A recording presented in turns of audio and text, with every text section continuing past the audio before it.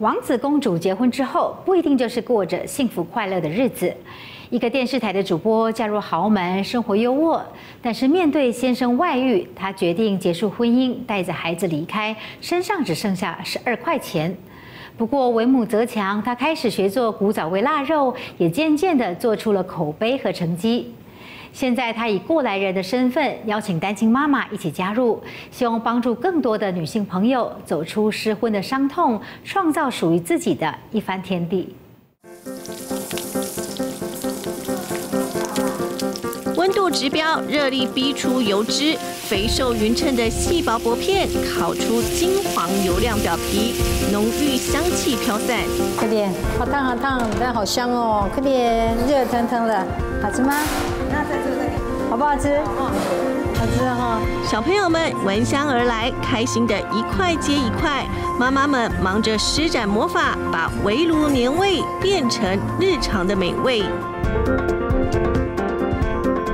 未来手里的五花小鲜肉就像是美女一样，减一分则太瘦，增一分则太肥。沾染十多种中药粉调制出的调味料，擦脂抹粉后，油亮粉嫩，色泽诱人。就像人，那就是我们一样，三餐吃三餐的话，但每个人长得胖瘦，呃，好看比例，皮肤的色泽漂不漂亮？其实我觉得这跟猪肉，你接触久，你也发现他们的肉，你觉得哇，真的看起来你会非常的惊艳，就是它是非常漂亮的，好像就是穿着跳舞衣的一个五花肉一样。慧兰眼中的穿着跳舞衣的五花肉，经过加工，摇身成为嘴里会挑动味蕾的腊肉，肥的刚刚好，瘦的又不会太柴太硬。以前我有两个佣人，所以完全不用做这些，所有东西入到你嘴巴里面都是最精致、最好吃的。但是没有温度，你更不知道它从哪里来的。但是我觉得现在就是，哎，到最后吃到我自己嘴巴的时候，我觉得我可以对我自己负责任，相当于我也觉得我可以对我分享我的朋友们负责任。那这种感觉其实是一种很脚踏实地的温暖。慧兰曾经是好命的公主，离婚之后得独立抚养小孩，为母则强，凡事都得自己来。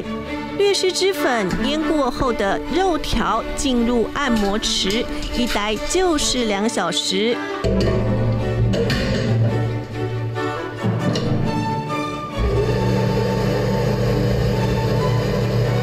冷空气和常温空气交错，猪肉毛细孔不断收缩，吸收独门酱汁，进入烤箱烘干水分。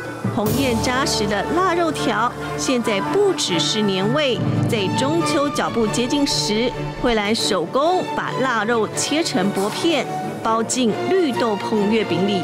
最精彩的来喽！红月饼绿豆椪，里面就装了刚刚你们最爱吃的腊肉。好吃的腊肉，从挑选猪肉就很讲究。云林台湾的养猪大县，抽风机抽送着猪舍里的废气，廊道上飘散着猪汁的气味，一般人很难忍受的猪骚味。吴继恒像是牙灶咖一样的娴熟。其实他留美留日学的是经济、国际关系和国际气管，洋派的很，却在乡下养猪。弟弟大有来头，是阳明国际的设计师吴继刚。我很感谢我弟弟哦，他给我机会去看一些我看不到的东西，所以我去纽约看秀的时候看的都美女。但是我也可以让，我也可以跟他讲说，我也是看每天看很多美女哦。像等下你刚刚看到这些都是美女生出来可爱小宝宝。那其实猪跟人真的非常接近啊。放饭时间，猪猪们满心期待着玉米、黄豆、小麦等饲料。只不过猪跟人一样，就算都吃一样的东西，兄弟都会长得不一样了。如何让猪肉品质规格化？夸张一点的说法，就是养猪要比养人还搞纲。其实吴继恒爸爸做了三十多年的营养补给饲料供给者。这几年串联上下游，慢慢的转变经营方向，甚至聊 o k 开始养猪。你看脐带还没掉，你看脐带，脐带还没掉。小猪们一出生就很有活力，吸吮着母奶。所以我们发现，三十年来我们做的工作只做了一半，真正要改变农业生产者的呃社会地位也好啦，或者让食品安全更全面。因为猪肉的好是来自于猪养的好不好？猪只的原生地来自英美和加拿大，圆滚滚、瓦跳跳。无记痕引进 LYD 混血品种，兼顾肉质和口感。他们会靠过来，对不对？他们会靠过来，表示我们平常对它照顾是 OK 的。为了要让它们适应亚热带地区的环境，吴继恒在猪圈和温度都下了功夫，尽量让它们能够长到头好壮壮。到现在要实际经营，当然我有很好的团队来协助我来经营猪场，但是真的是用嘴养猪跟用手养猪，这是完全不一样的事情。啊，包含疾病的管控啦，哦，才发现真的很困难。困难的事还包括了如何提升屠宰场的卫生环境。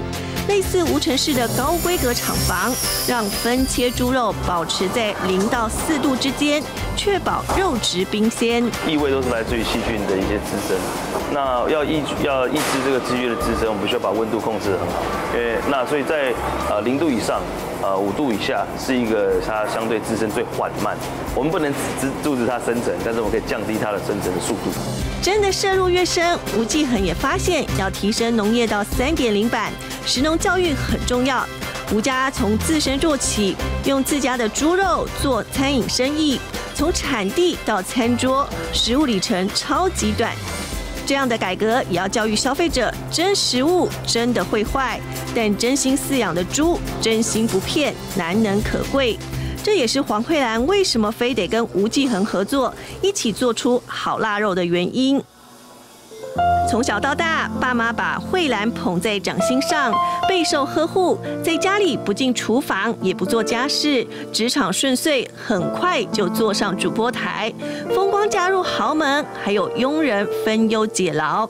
但王子公主的故事并不是永远 happy ever after。先生的公司拓展太快，突然宣告破产，夫妻之间出现第三者。打击接踵而来。破产之后，我才知道他他他有朋友，再加上那时候二零零八零九金融风暴来的也太快，我们来不及应应，所以其实就是很双很多重的原因之下，就我们就跌倒了。豪门梦碎，慧兰离开夫家时一无所有，没有积蓄，也没有办法再回到媒体圈。最低潮时，身上只有十二块钱，连要生存下去都成了问题。像我生了三个孩子嘛，呃，能够最拿手的应该就带孩子。保姆去保姆协会那里想要去考保姆执照，但是考保姆执照之前，其实他先要缴八千块啊的训呃训练费用，那我身上根本没有钱。后来我想说，哎，那我可以去去超市啊，去超商啊，连锁超商工作。但是那时候其实也四十岁了，我竟然资格不符。只要有心站起来，天无绝人之路。靠着信仰和贵人相助，慧兰找到了一份月薪六位数的工作，再度回到职场。慧兰接触到许多相同遭遇的单亲妈妈，她体会到经济不稳定是许多妈妈们最常遇见的难题，因此号召他们一起用双手展开抢钱大作战。灰兰运用自己过去的人脉关系，也因缘际会学到从明朝流传下来的腌制秘方，开始做起腊肉生意。因为锁定金字塔顶端族群，惠兰从猪肉挑选和行销策略都下足功夫，创意的发挥。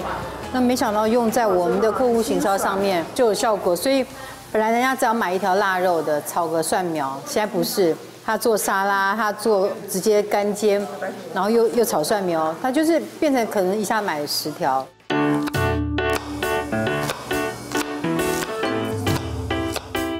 老师和妈妈们脑力激荡，把通常在过年团圆时才吃得到的传统腊肉，变成天天都能吃的好料，刺激更多的消费力，是这一群在婚姻中很弱势的单亲妈妈们想出来的突围妙招。年轻的时候他会犯错，我也会犯错，我们都没有在爱里去容忍对方，那一时的选择就造成往后走不同的路。但现在看来，我觉得那些事上都可以忍耐的。